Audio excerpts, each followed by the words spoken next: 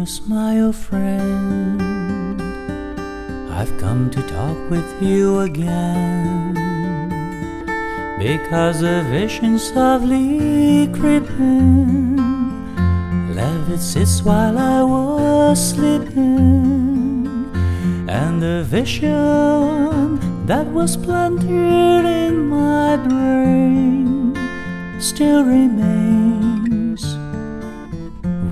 the sound of silence. In restless dreams, I walked alone through narrow streets of cobblestones beneath the halo of a street lamp.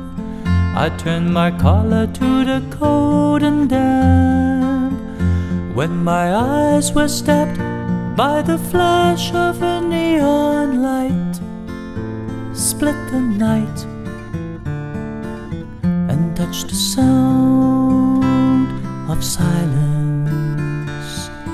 And in the naked night I saw ten thousand people, maybe more.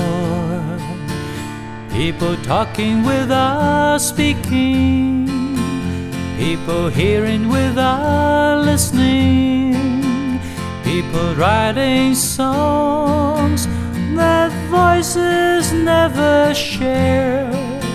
No one dare disturb the sound of silence. Fool said I, you do not know. Silence like a cancer grows. Hear my words that I might teach you. Take my arms that I might reach you.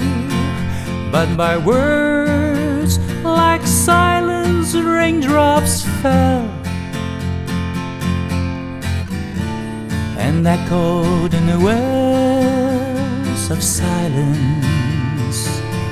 And the people bowed and prayed to the neon god they made. And the sign flashed out his warning in the west that it was forming. And the sign said the words of the prophets are written on the subway walls, tenement halls, and whispered in the sound of silence.